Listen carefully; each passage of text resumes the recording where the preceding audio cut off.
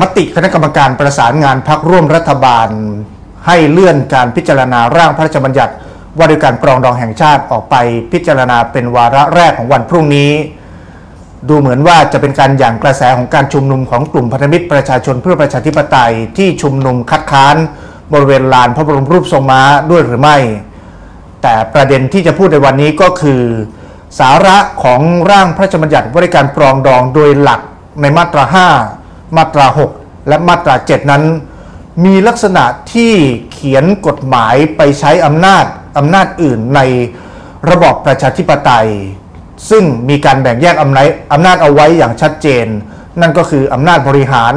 อำนาจนิติบัญญัติ และอำนาจตุลาการ จริงอยู่ฝ่ายนิติบัญญัตินั้นมีสิทธิ์ที่จะออกกฎหมาย แต่การออกกฎหมายในลักษณะที่เขียนเป็นคำพิพากษาแล้วไปยกเลิกคำตัดสินของศาลจึงเป็น อำนาจตุลาการนั้น ย่อมไม่สามารถที่จะทำได้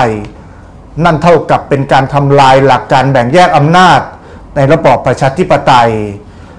การแบ่งแยกอำนาจในระบอบประชาธิปไตย ซึ่งปรากฏอยู่ในรัฐธรรมนูญมาตรา 3 ที่บอกว่าอำนาจอธิปไตยเป็นของปวงชนชาวไทย พระมหากษัตริย์นั้นทรงใช้อำนาจผ่านทางอำนาจนิติบัญญัติอำนาจบริหารและอำนาจตุลาการ เพราะฉะนั้นการที่ฝ่ายรัฐสภา ออกกฎหมายในลักษณะที่ไปใช้อำนาจของฝ่ายตุลาการ จึงเป็นการทำลายหลักการประชาธิปไตย ไม่ได้ทำให้ประชาธิปไตยเจริญรุดหน้า มีแต่จะเสื่อมสุดลงไปเรื่อยๆ ครับ